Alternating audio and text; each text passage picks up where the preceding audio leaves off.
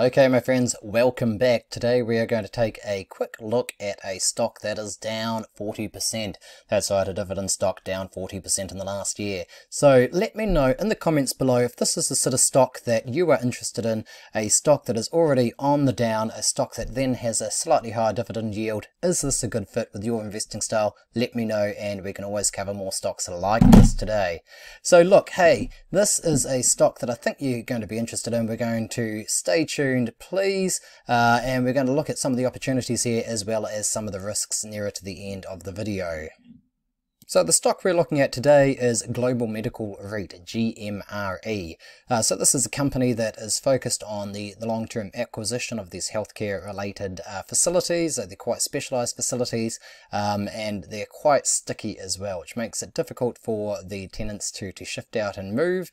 Um, and, and so I think there's a lot of opportunity here. Now it's similar to uh, MPW, Medical Properties Trust. It's in the same type of sector um, and it's got the same sort of exposure to the same tailwinds. And we're going to look at some of those risks and challenges later as well. Right, now this is what I'm talking about. I am over in Fast Graphs looking at the historical performance of this company.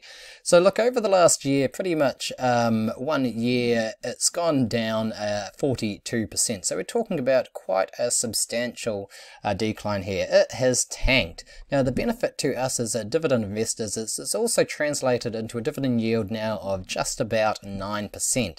And one of the big questions, of course, that we should ask is, is this a good time to buy? Is this a good time to get into GMRE and what are the prospects moving forward? One of the things that I really love about Fast Graphs is this handy forecasting calculator. Now this is just a calculator, it doesn't give us answers, but it allows us to, to judge what may or may not happen and what the likely outcomes could be. So here we're looking at GMRE, we're looking at the current prices here today, and we're looking at what might happen by the end of 2024. Now if the analysts have the uh, reasonable AFFO, Adjusted Funds from Operation, um, if they've got a reasonable estimate for that and prices return to the same sort of uh, 15 times price to AFFO ratio, which is kind of like the price to earnings ratio for other industrial stocks, uh, except this is more appropriate for a, uh, a REIT, a real estate investment trust like GMRE. If this price uh, multiple returns to this point of 15 times, we're talking about a total rate of return of 86%, or about 36% per year. So that requires two things. It requires prices to renormalize, and it also requires these analysts to have an accurate estimate. Now, as we can see here at the bottom in this panel here, we can see the analyst estimates have actually been going down a little bit over the last uh, six months, um, and so there is that hint of weakness there and concern about the future future. But we can also begin to turn this over to the Fast Graphs um, analyst scorecard to sort of get a sense of how these analysts are doing. Now this is a relatively uh, new company, it's relatively small, it's a small cap, so we do need to be careful and it's not being followed by a large number of analysts. So we can see the number of analysts following it up here. So we're up to about sort of six or seven analysts now. Um, and the analysts are looking forward two years, they've done a reasonable job. Um, most of the time they're hitting it with a um, the 20% margin for error. They're getting the, the expected uh, adjusted funds from operations right, estimated two years out with 20% margin of error, they're getting it right. So that's pretty encouraging to see. Now, what do you think? Leave me a comment in the box below. Is this the type of stock that you are interested in and do you think it was going to make a good fit with your own investment portfolio? Now, switching over to finbox.io, this gives us the opportunity to also have a, a closer look at some of these uh, targets as well. So trading at about $9.51 now, there's seven analysts following it. They've got uh, estimated um, targets from about $9, which would suggest that the stock is currently overvalued, through to about $15, suggesting about a 50% upside there. The average analyst target is about $11.50, suggesting about $2 per stock upside target. Um, using a range of different financial models here, they suggest that there's a fair value of about $11 through to $13 or an average fair value over these models of about $12.25, uh, giving us about a 28% upside. So don't rush out. Do not just go and buy this stock yet because there are some challenges. I mean, we don't get a 40% price decline without some risks and you know challenges that we do need to consider for this type of company. Oh, so what is going on? Well, the healthcare sector, the tenants for GMRE, they are somewhat at risk. So we're talking about a sector that is obviously going to be struggling following the pandemic. We're talking about uh, bankruptcies trending 25% higher in 2022.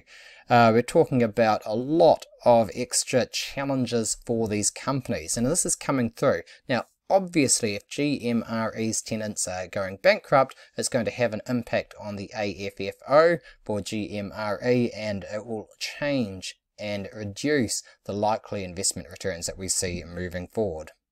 So 2022 was a rough year, 19 hospital closures.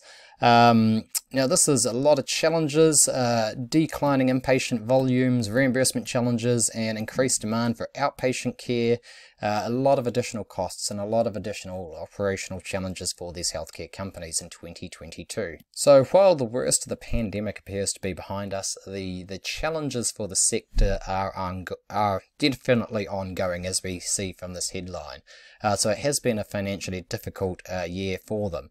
Now one of the big challenges has been the labour labour expenses for healthcare companies and the tenants of GMRE um, expected to grow quite substantially uh, over 2022. Um, about 53% of hospitals or half of hospitals are expected to finish with negative margins related or relative to the pre-pandemic levels.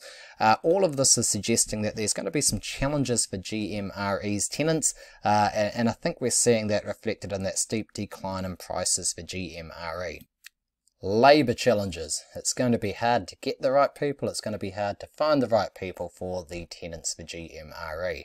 Um, now, this obviously is going to have an impact on their ability to continue to pay GMRE and stay solvent, uh, and that's being reflected in the price declines that we're seeing in GMRE. Scrolling further down in the article, we can get a sense here of some of the labour costs and labour challenges facing GMRE's tenants. Uh, a very severe labour shortage, um, and, and one of the big impacts that this has is this issue here of the actual labour expenses per patients being 26% above what it was two years earlier. And that's a huge labour expense, and that's one of the key expenses for GMRE's tenants. Um, now, if of course their costs are going up, uh, it's going to make it harder for the tenants to remain solvent. It's going to make it harder for the tenants to keep on paying GMRE, and this is probably one of those key risks that you do need to think about before you jump into GMRE. So, does this have a place in your portfolio? Is this small cap REIT a good pick for you for 2023? There are some benefits. There's a nice dividend yield. There's some strong upside potential but it's also in a sector that is being impacted still by the pandemic. So let me know in the comments below whether or not this is an option for you and how well you think it might complement the rest of your holdings in your portfolio. And stay tuned for more great opportunities for 20 up soon.